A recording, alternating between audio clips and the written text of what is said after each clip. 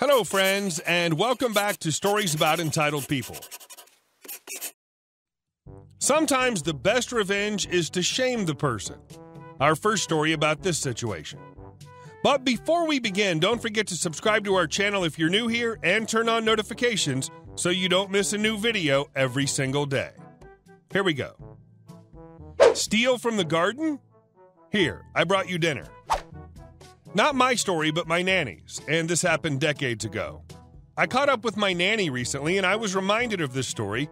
The dialogue isn't accurate, obviously, but hopefully you'll get the gist of it. My siblings and I had a part time nanny growing up since both our parents worked. Her job was to pick us up from school in the afternoon, drive us to after school activities, bring us home, and prepare dinner.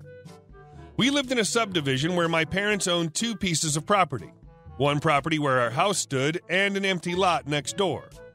The empty lot wasn't fenced in, and it's essentially a bare piece of property. The subdivision is considered small, only 60 properties, allowing everyone to know each other. My parents moved there in the first year of their marriage and were literally one of the first families that ever lived there. The nanny started working for us when my older brother came into the picture and stayed with us for over 25 years before she retired. Everyone in the subdivision knew her and loved her. Nanny loved to garden, and my parents gave her carte blanche on the empty lot. She cared for that garden so much, and we ate a lot of fresh vegetables and fruit growing up. Nanny could take home as much produce as she wanted as well. One day, Nanny started to notice that her harvest was decreasing and couldn't figure out why. There were bananas that she was sure were there a week ago that were now gone, the only harvests left were the ones that were already turning brown, etc. After finding out Nanny's concerns, my dad installed a CCTV camera along our perimeter fence that looked out to the empty lot where the nanny's garden stands. Sure enough, the CCTV catches a neighbor stealing Nanny's hard earned harvest. It was a new neighbor, Karen, who was treating our garden as her own personal produce section. Karen steals at the oddest hours, too, when no one could see her. Think 5 a.m. or 11 p.m.? Well, that didn't sit well with Nanny. We give away produce to our neighbors if they ask for some. Nanny will give them away. The key word, however, is that they ask, not steal. So, what does Nanny do? When Nanny was sure that Karen was the thief, she cooked an extra large serving of dinner one night and took some over to Karen's house. Her young son answered the door, possibly 8 to 10 years old, and Nanny asked for Karen. When Karen came to the door, Nanny in a loud voice said, I brought you dinner since I noticed that you've been helping yourself to our garden recently. I didn't want you or your children to go hungry. Karen was obviously red in the face and shut the door quickly without getting the food Nanny was offering. She missed out because Nanny was an amazing cook. Her son was right by the door watching the exchange, too. It didn't stop there. Since Nanny knew a lot of people in the neighborhood and people loved her back, she connived with some other people to bring Karen dinner for the next three days. On the fourth day, Karen's husband dropped by the house and apologized for Karen's behavior and offered to compensate Nanny for whatever Karen stole. As far as I know, no one messed with Nanny ever again. Info 1 This is in Southeast Asia. Info 2 When this happened, the garden was at least 13 to 15 years old and thriving.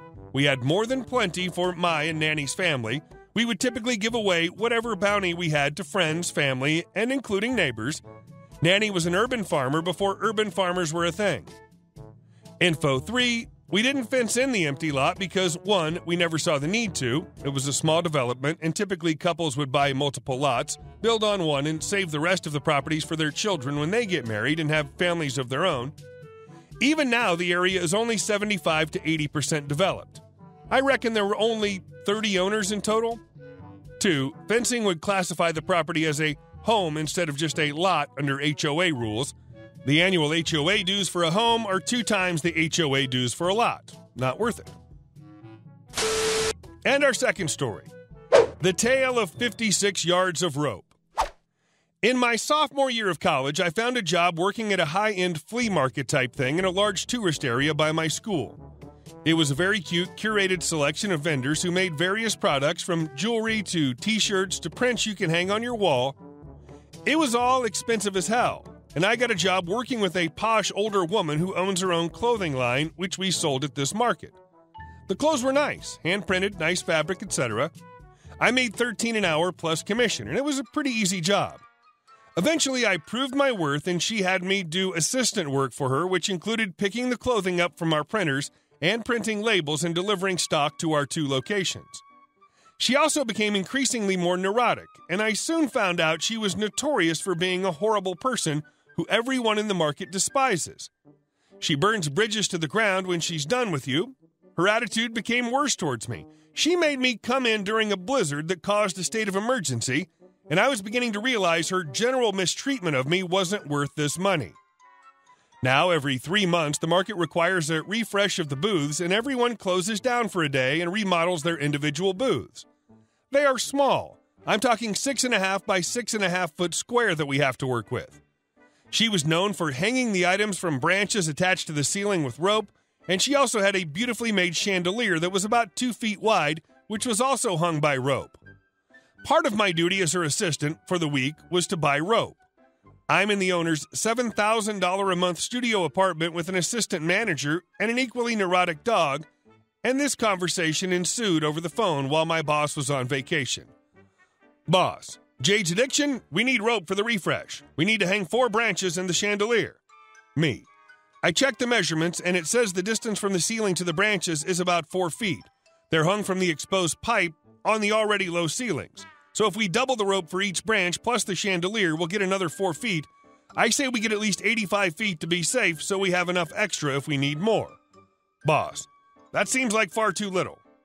Me, 4 times 2 is 8. 8 feet on either side of the branch is 16. 16 feet times 4 branches is 64, plus another 4 for the chandelier. Boss, I think I've done this long enough to know more than you. We need 85 yards. Me, 85 yards is 255 feet of rope. There's three feet in a yard. Are you sure you don't mean 85 feet? Boss, I know what a effing yard is. Your measurements are off. I'll send you the money to pick up 85 yards. The assistant manager calms me down after I hang up and calls the owner herself for clarification and sends her a photo of the measurements and clarifies that the owner is aware the difference between a foot and a yard. Owner doubles down and calls us idiots hangs up again. At this point, my assistant manager tells me to just get 85 feet and call it a day. But I was so angry that I insisted I show her she's wrong. Assistant manager reluctantly agrees. I get $20 and go to Home Depot for the rope. Of course, the max they have on a spool I saw was 50 feet. I need effing 255. I explain to the worker, and he gets me several spools, which cost about $30 each. Yet again, I send a photo to my boss and explain I need more money to make sure she's aware she's buying this much rope. Again, she sees me with five spools of rope and gives me the okay along with extra money. Assistant manager and I are in charge of supervising the guys we hired to help us assemble the new furniture we bought for our booth.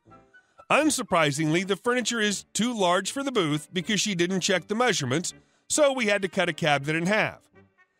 As it comes together, it's time to put up the branches with the rope. Again, unsurprisingly, we only use a little over one spool of rope. We now have four extra spools we don't need. The guys building everything call my boss to ask what to do with the rest of the rope, and she loses it. Starts screaming that I was too irresponsible and I should have gotten less, and I should have never listened to her, and I scammed her out of a $100 to buy rope we didn't need. All the while, my assistant manager and I are standing there slack jawed as the contractors get an earful on speaker. Everyone else refreshing their stations are staring at us, and I have tears in my eyes and four spools of rope. I also luckily have multiple texts, including the photos I sent her of the spools as proof that I checked with her. I refused to return it and said she can figure it out when she gets back from vacation. Surprisingly, she didn't fire me. She ended up returning the rope but never apologized. A few months later, I put in my two weeks because I got an internship and I sent her a cordial email thanking her for everything. In response, she sent me a bulleted list of all the reasons she was about to fire me anyway and how she was glad I quit before she could do so. Number five on the list buying too much rope. And our last story. My grandpa was a pro revenge master. So, my grandpa had a long going feud with his older brother. For some context, his older brother kidnapped their mother from her nursing home, hid her in Florida, and had her change her will to only include him, to the exclusion of her three other children. First, my grandpa's brother took control of the house my grandparents lived in, that was his parents, and the business they had operated for 15 years. Their business on land owned by his parents. My grandpa offered to buy the property from his brother, but got the response, I'll sell it to you over my dead body. Grandpa's brother showed up with a cooler and lawn chair to watch as they were forced to move out. So my grandpa got a friend of his, Jim, to buy the property. After the sale went through, Grandpa's brother handed Jim the keys, and Jim motioned to my grandpa, who was hiding around the corner, to come and get the keys. Grandpa's brother was furious. Many years later, my grandpa is driving around with his son in law, my dad, when he runs over a skunk. He comes up with a great plan, heads home, and ties a milk crate to his bumper. Grandpa puts the skunk into the crate, goes home, and kisses his wife goodbye and tells her, I'll be back in a few days. He made a 24 hour drive to Florida, dumped the skunk in his brother's convertible, and makes the drive home. When my grandpa died, he had a newspaper clipping in his wallet headlined, Phony Bomb Defused.